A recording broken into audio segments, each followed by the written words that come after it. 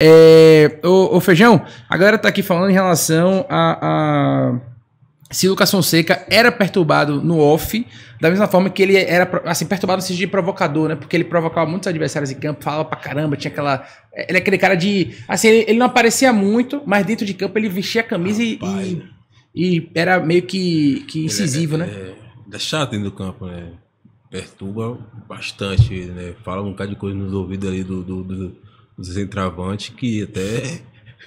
Acabei até incomodado, né, com essa coisa, né? Mas um cara que dentro do jogo, ele é bem centrado, bem focado mesmo. Se ele dá dentro do jogo, ele se esqueça. Mas no dia a dia, o cara é tranquilo, de boa. Tranquilo, né? É, resenheiro também. Fala pouco. Você lembra aquela resenha dele com o Guerreiro?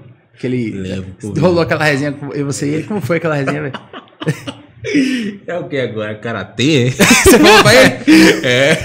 E ele falou? Ele, ah, queria aparecer. Eu falei, pelo amor de Deus, aparecer daquele jeito. Imagine Ah, a resenha com o Lucas Fonseca, bicho.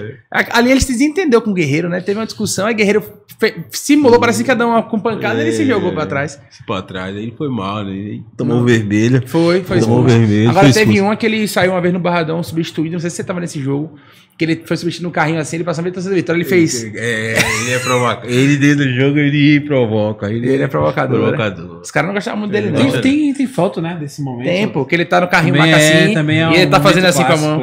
Tem vários, ele, ele, ele, ele teve várias, várias provocações contra o Vitória, pô. Ele teve, teve uma de André Lima, lembra de André, de André Lima? Que ele, que ele fez, virou pra André Lima e fez assim, ó. Que ele tava É. acima do peso. Rapaz, o bicho é. O bicho era chato, velho. Chato, ele no jogo era chato. E ele, e ele conseguia entrar na mente dos caras. Ele entra mesmo, na, dentro da mente mesmo.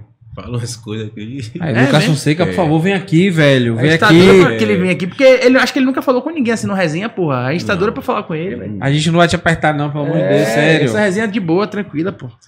Porra, velho, Lucas Fonseca. A gente paga a sua passagem, Lucas. Não, não, não, paga não. Não paga não. É, hotel. Não. Sim. Eu não pago, não. Oxi.